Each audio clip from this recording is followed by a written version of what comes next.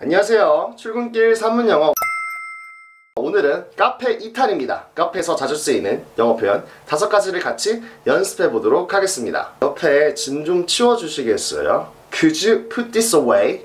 Could you put this away? Could you clear the spot? Could you clear the spot? Could you clear the area? Could you clear the area? 쿠폰 적립하시겠어요? 옆에 리더기에 그 핸드폰 대주세요. Would you like to receive the points? Please hold your phone against the reader. Would you like to receive the points? Please hold your phone against the reader. 아, 와이파이 잘 안 잡히는데. 야, 다른 카페 가자. I can't connect to the Wi-Fi. Let's go to different cafe. I can't connect to the Wi-Fi. Let's go to different cafe. I can't cast the Wi-Fi. Let's go to another cafe. I can't cast the Wi-Fi.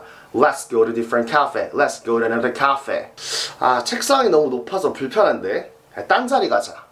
This table is too high. It's uncomfortable. Let's go to different seat. This table is too high. It's uncomfortable. Let's go to different seat. 야, 다 먹은 거 그 아래층 카운터에 갖다 놔야 돼. We need to bring the tray back to the counter downstairs. We need to bring the tray back to the counter downstairs. 최종 연습 저도 달달달 외웠습니다.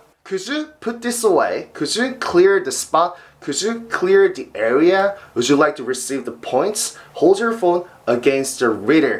I can't connect to the Wi-Fi. Let's go to another cafe. I can't catch the Wi-Fi. Let's go to another cafe. This table is too high. It's uncomfortable. Let's go to different seat. Let's go to another seat. We need to bring the tray back to the counter downstairs. 완벽하죠? 자 이렇게 나올 수 있도록 연습해 보시기 바랍니다. 저는 내일 아침에 또 뵙도록 하겠습니다. 안녕히 계세요.